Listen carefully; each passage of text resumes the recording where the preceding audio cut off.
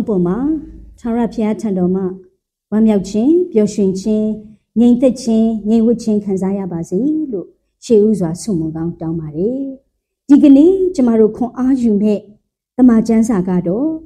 116ခုမြောက်တဲ့ကဆာလံ116ခုမြောက်သောဆာလံလေးက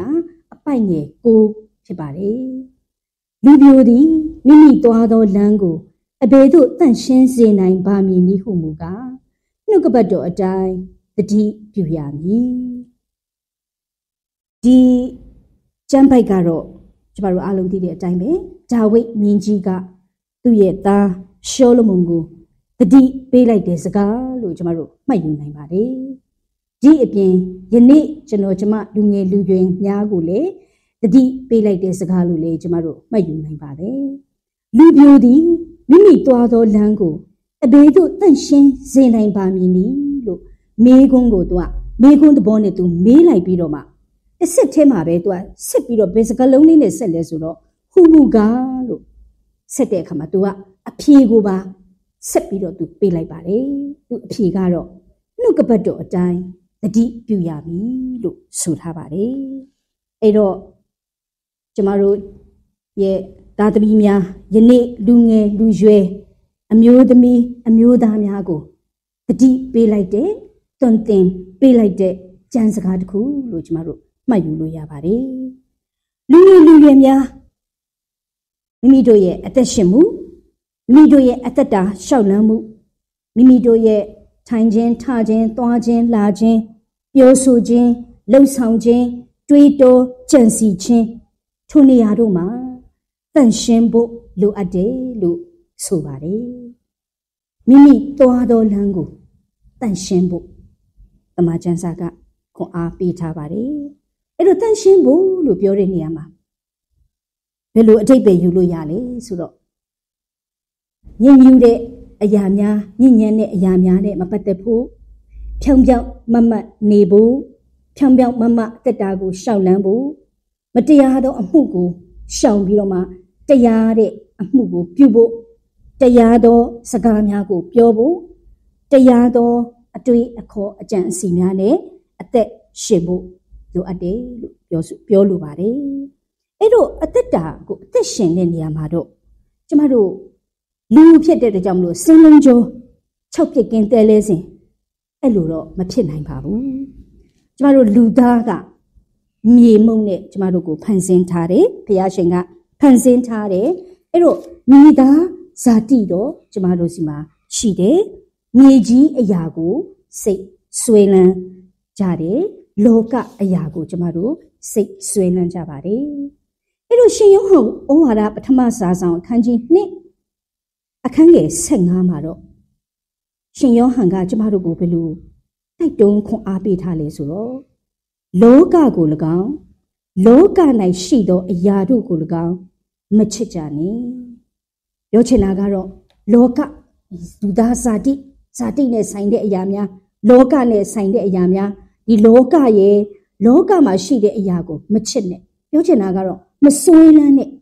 ဒီအရာကိုပဲစိတ်ထဲမှာလေတွေးမနေနဲ့ဒီအရာကိုပဲအာယုံမထားနဲ့လို့ပြောချင်တာဖြစ်ပြီးတော့လောကကိုချစ်တဲ့သူက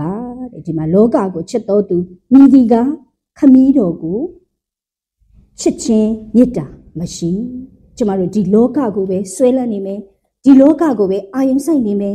ဒီလောကကိုပဲချစ်နေမယ်ဆိုရင်တော့ကျမတို့ကိုဖန်ဆင်းတော်မူသောဖခင်ရှင်ကိုကျမတို့အာယုံမဆိုင်နိုင်ဘူးမဆွဲလန်းနိုင်ဘူးအာမချစ်နိုင်ဘူးလို့ရှင်ယောဟန်ကကျမတို့ကိုဆိုထားပါတယ်အဲ့တော့တမန်ကျမ်းစာထဲမှာအသက်တာကိုတန်တန်ရှင်းရှင်းနဲ့အသက်ရှင်သွားတဲ့လူငယ်နှစ်ယောက်အကြောင်းကိုကျမတို့အာ လေ့လာပြီးတော့မှခွန်အားယူဖို့ဖြစ်ပါတယ်ဒါကတော့ကျမတို့အားလုံးသိပြီးသားဖြစ်တဲ့လူငယ်လေးနှစ်ယောက်ဖြစ်ပါတယ်သူတို့ရဲ့အသက်တာမှာများစွာသောစုံစမ်းခြင်းများကိုခံရပါတယ်သို့တော်လည်းမိမိရဲ့အသက်တာကိုတန့်ရှင်းစွာကြိုးစားပြီးတော့အသက်ရှင်တဲ့လူငယ်လေးနှစ်ယောက်ဖြစ်ပါတယ်ပထမလူငယ်လေးကတော့ယောသဖြစ်ပါတယ်သူ့ရဲ့အကြောင်းကိုကျမတို့ကဘာဦးကျမ်းအခန်းကြီး30နဲ့9မှာအာသူ့ရဲ့ဒီ တန့်ရှင်းစွာသူနေထိုင်တဲ့အသက်တာအကြောင်းကိုကျမတို့တွေ့ရမှာဖြစ်ပါတယ်လို့ကျမတို့အားလုံးသိတဲ့အတိုင်းယောသကိုဒီအေဂုတ်တုပြည်ကိုရောင်စားလိုက်တယ်ညီကိုတွေကနော်သူ့ကိုရောင်လိုက်တယ်ဘယ်ကိုရောက်သွားလဲဆိုတော့အေဂုတ်တုအမျိုးသားဖာယောဘရင်ဤအမတ်ဖြစ်တော့ကိုရန်တော်မူပိုးတိပါချံကိုရောင်သွားတယ် အဲ့တော့ယောသကဒီကိုရန်တော်မူပိုးတိဖာရဲ့အိမ်မှာသူနေရတယ်အဲ့ဒီလိုနေတဲ့အချိန်မှာတမန်ကျမ်းစာမှာခဏခဏဒီစကားကိုပြောတယ်ဖျားသခင်သည်ထာဝရဖျားသည်ယောသဘက်မှာရှိတယ်ထာဝရဖျားသည်ယောသဘက်မှာရှိတယ်လို့ယောသကိုယ်တိုင်ကလည်းထာဝရဖျားနဲ့အတူရှိတဲ့အတွက်ကြောင့်မလို့တွေ့လာသမျှသောစုံစမ်းခြင်းများတွေ့လာသမျှသောညင်ညူးခြင်းများမကောင်းတဲ့အရာများကိုသူ အောင်မြင်ကျော်လွှားပြီးတော့တန့်ရှင်းတဲ့အသက်တာနဲ့သူအသက်ရှင်နေတာကိုတွေ့ရပါတယ်။အဲ့တော့ယောသကဒီပုထိပါအိမ်မှာသူနေတဲ့အခါမှာဖျားသခင်ကသူနဲ့အတူရှိတယ်။သူကိုယ်တိုင်ကလည်းဖျားသခင်နဲ့အတူရှိတယ်။ဖျားစကားကိုမမင့်ဘူး။နားထောင်တယ်။သူ့အိမ်ရှင်ကသူ့ကိုအိမ်အုပ်အရာကိုခန့်ထားအိမ်အုပ်အရာကိုခန့်တဲ့အတွက်ကြောင့်မလို့ကျမ်းစာထဲမှာဗာပြောလေဆိုတော့ ထို့သောအိမ်နှင့်ဥစ္စာရှိသမျှကိုအုပ်ဆိုးစီသည်ဟာယောဒီပောတိဖာကယောသကိုအုပ်ဆိုးစီတဲ့အခါမှာကာလမှစ၍ထာဝရဘုရားသည်ယောသအတွက်ထိုအေဂုတ်တုသားဤအိမ်ကို ကောင်းကြီးပေးတော်မူသဖြင့်ယောသကြောင့်မလို့ပောတိဖာရဲ့အိမ်ကကောင်းကြီးခံရတယ်။ဒါအပြင်ပေးတော်မူသောကောင်းကြီးမင်္ဂလာသည်အတွင်းအပြင်ဥစ္စာရှိရှိသမျှအပေါ်မှာလည်း တိတ်ရောက်တယ်။ဘလောက်ကောင်းသားလဲသူ့ရဲ့အသက်တာ။သူအဲ့ဒီပိုတိဖာအိမ်မှာနေတဲ့အတွက်ကြောင့်မလို့ဖယားရှင်ကသူ့ကိုကောင်းချီးပေးတယ်။ဒီအိမ်ကလည်းကောင်းချီးခံရတယ်။အိမ်မှာရှိတဲ့အရာအိမ်ထဲမှာမကဘူးနော်။အိမ်ပြင်မှာရှိတဲ့အရာရှိရှိသမျှဥစ္စာအားလုံးအပေါ်မှာဖယားရဲ့ကောင်းချီးကရောက်ရှိတယ်။အဲ့တော့ပေါတိပါကအကုန်လုံးအပ်ပြီးတော့သူ့မှာမိမိစားသောအစာမတပါအခြားဥစ္စာရှိသည်များကောင်မတိမမတ်ပဲနေ၏ လို့ဆိုထားပါတယ်အဲ့တော့အိမ်ခွေရဝတ်စာအလုံးကိုဘာမှမသိဘူးပေါတိဒီကိုရံတော်မူပေါတိပါကဘာရှိလဲအိမ်မှာဘာရှိလဲအိမ်မှာဘာဖြစ်လဲအိမ်မှာဘာလို့လဲဘာမှမသိဘူးယောသကိုအကုန်လုံးအာအထားတဲ့အတွက်ယောသရှိတဲ့အတွက်လည်းအိမ်ကလည်းကောင်းကြီးခံစားရတယ်တွေ့ရပါတယ်။အဲ့ဒီမှာတော့ယောသအတွက်စုံစမ်းခြင်းတစ်ခုလာပြီးတွေ့ရပါတယ်။ကပ္ပဦးကျမ်း39ခုနှစ်ကနေ6ကတော့သ ခင်ဤမယားသည်ယောသကိုတတ်သောစိတ်ရှိ၍ငါနှင့်အတူအိပ်ပါဟုဆို၏။အော်ဒီဖာရဲ့မိမကဒီယောသကိုအပေါ်မှာယောသသည်တဲ့ပုံပြင်ရင်ကျေး၍အသွေးအစင်းလဲလှနော်လူပြိုလူရွယ်အလေးအရွယ်လေးအာလှပတယ်ခန့်ညားတယ်ချုံမောတယ်အဲ့တော့သခင်ရဲ့မယားကသူ့ကိုတက်မဲ့တဲ့စိတ်ရှိလာပြီးတော့သူနဲ့အတူအိပ်ပါလို့သွေးဆောင်စုံစမ်းလာတာကိုကျမတို့ တွေ့ရပါတယ်အဲ့တော့ယောသရဲ့သူပြန်ပြောတဲ့စကားကိုကျမတို့နားထောင်တဲ့အခါမှာအင်မတန်မှသူ့ရဲ့အသက်တာလေးဟာဖြူဖြူစင်စင်သူ့ရဲ့အသက်တာကိုတန်တန်ရှင်းရှင်းနေထိုင်သွားတာကိုကျမတို့တွေ့ရပါတယ်အခန်းငယ်၈နဲ့၉ကိုဖတ်ချင်ပါတယ်ယောသကလည်းကျွန်တော်သခင်သည်အိမ်၌ရှိသမျှသောဥစ္စာတို့ကိုကျွန်တော်လက်သို့အပ်ပါပြီကျွန်တော်၌အဘယ်ဥစ္စာရှိမှန်းကိုများမသိပါဤအိမ်တွင်လည်းကျွန်တော်ထက်သာ၍ကြီးသောသူမရှိပါ ကိုမယားဖြစ်သောသခင်မှမှတပါအဘယ်အရာကိုမျှကျွန်တော်အားမမြစ်တာပါကျန်တဲ့အရာအလုံးလုပ်ပိုင်ခွင့်ရှိတယ်သခင်မကတော့ဒါကသခင်နဲ့ဆိုင်တဲ့အရာဖြစ်တယ်တို့ဖြစ်လေအပြစ်ကြီးသောဤအမှုကိုကျွန်တော်ပြု၍ဖျားသခင်ကိုအဘယ်သို့ပြစ်မှားနိုင်သနည်းဟုသခင်ဤမယားကိုညှင်း၍ပြန်ဆို၏သူရဲ့အသက်တာစုံစမ်းခြင်းတွေများစွာကြီးစွာသောစုံစမ်းခြင်းလာပါတယ် သို့တော်လည်းပဲဖျားသခင်ရဲ့စကားတော်ကိုနားထောင်နေဖျားသခင်နဲ့အတူအသက်ရှင်နေဖျားသခင်ကလည်းသူနဲ့အတူရှိနေတဲ့အခါမှာသူ့အသက်တာကိုမြင့်မြတ်တဲ့အရာတွေမပတ်သက်စီဘူးသူ့အသက်တာကိုစုံစမ်းခြင်းတွေကိုမျိုးမပါသွားဘူးသူ့အတက်တာကိုစင်စင်ကြဲကြဲနဲ့နေထိုင်သွားတယ်တန်တန်ရှင်းရှင်းနဲ့နေထိုင်သွားတာကိုတွေ့ရပါတယ်ဒုတိယတစ်ယောက်ကတော့ဒံယေလဖြစ်ပါတယ်ကျမတို့အားလုံးသိတဲ့အတိုင်းပဲဖြစ်ပါတယ်သူ့ရဲ့အကြောင်းကိုတော့ဒံယေလ အနာဂတ်ကျမ်းထဲမှာကျမတို့တွေ့ရပါတယ်ဒံယေလနဲ့တငယ်ချင်း၃ဦးဖြစ်ပါတယ်ဘာဖြစ်လို့ရှင်ဘုရင်ကယေရုရှလင်မြို့ကိုလာရောက်တိုက်ခိုက်ပြီးတော့ဗိမာန်တော်ထဲမှာရှိတဲ့တစားတွေအကုန်လုံးယူသွားတယ်ရွှေတွေငွေတွေယူဆောင်သွားတယ်လူတွေအကုန်လုံးကိုလည်းဘာဘူးလုံကိုခေါ်သွားတဲ့အခါမှာဒံယေလနဲ့တငယ်ချင်း၃ဦးဒီဘာဘူးလုံကိုရောက်ရှိသွားပါတယ်အဲ့တော့ဘယင်ကစပြီးတော့မှဘာစတင်ပြီးတော့သူလှုပ်လေဆိုရင် ဒီခေါ်ဆောင်လာတဲ့သူတွေကိုနန်းတော်မှာသူကအမှုတော်ထမ်းစီခြင်းတဲ့အတွက်ကြောင့်မလို့ဘာကိုတင်စီခြင်းလဲပထမတစ်ခုခါလဒဲဘာသာအဲ့ဒီဘာဘူးလုံမှာပြောတယ်စကားဖြစ်တဲ့ခါလဒဲဘာသာအတက်ကိုတင်စီတယ်နော်ပြီးလို့ရှိရင်လေအဲ့ဒီဘယင်ရဲ့စားတောက်တဲ့ပွဲတော်မှာကျွေးတဲ့အစားအစာနဲ့တောက်တဲ့စပည့်ရေကိုလည်းနေ့တိုင်းနေ့တိုင်းသုံးဆောင်ရမယ်သုံးနှစ်သုံးဆောင်ရမယ် အဲ့ဒီလောက်မှအမှုတော်ထမ်းရမယ်လို့ဘယင်ကဒီသူ့ရဲ့ဒီမိန်းမစိုးတွေကိုနော်မိန်းမစိုးအုပ်တွေကိုသူကအမိတ်ပေးလိုက်တယ်အဲ့တော့ဒီမိန်းမစိုးအုပ်တွေကဒီထန်ရည်လာနဲ့သူ့ရဲ့တငယ်ချင်း၃ယောက်ကိုဒီအစားအစာတွေကိုသူကျွေးတယ် royal food ပေါ့နော်ဘရင်ရဲ့စားတော့တဲ့အစားအစာတွေကိုသူကသူတို့ကကျွေးတယ်အဲ့တော့ဒီအရာတွေက